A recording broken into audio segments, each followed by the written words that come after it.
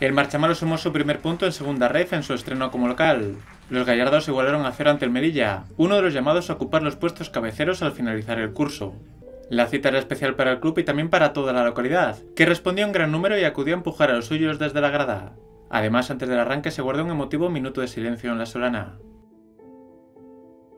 Ya con el balón en movimiento el dominio fue alterno, aunque no en gran número había ocasiones en una y otra portería. En el segundo acto el Marchamalo dio un paso adelante y hasta anotó por mediación de Josemi, pero el colegiado anuló el tanto por fuera de juego.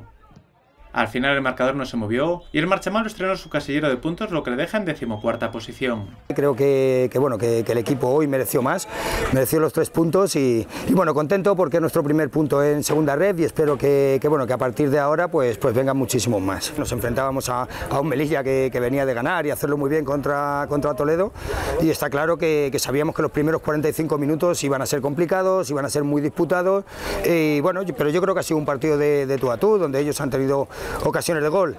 y, pero marcha malo también y, bueno, creo que la segunda parte dimos un paso hacia adelante y, bueno, conseguimos volverlos a meter, el gol nuevo de Josemi, eh, no sé cómo estará, pero, pero bueno, muy contento, creo que, que Marchamalo está entendiendo dónde tenemos que, que llegar y, y, la verdad que primer punto y, bueno, ya pensando en Águilas para, para, intentar sacar los tres. El ambiente es espectacular, ya te digo, la gente no, la gente no nos falla, la gente nos apoya, la gente nos lleva en volandas y, y bueno, creo que es muy importante porque al equipo le hace falta, ¿no? Le hace falta eh, sentir a esta gente tan cercana, nos hace falta ese empujón que, nos dan ellos, así que pues como siempre darle las gracias y, bueno, intentaremos seguir respondiendo en el campo, defendiendo este escudo como, como si se nos fuera la vida en ello y, que se sigan sintiendo orgullosos de nosotros. Yo sabía que iba a ser un partido muy disputado porque bueno, ya la semana pasada se comprobó en este caso de Marcha Malo que es un equipo muy incómodo, presiona muchísimo, no te deja sentir cómodo en el partido y a base de su juego, en este caso muy vertical, pues bueno, eh, al final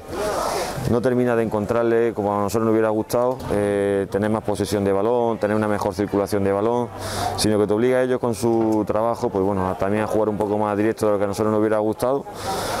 Pero bueno, ha sido un partido muy disputado, como he dicho anteriormente. Hemos tenido nuestro momento para ponernos por delante del marcador, que posiblemente eso nos hubiera dado eh, más tranquilidad y ellos hubieran tenido que ir mucho más hacia adelante, y, y nos podía haber dado la posibilidad de tener mejor situación en el contraataque.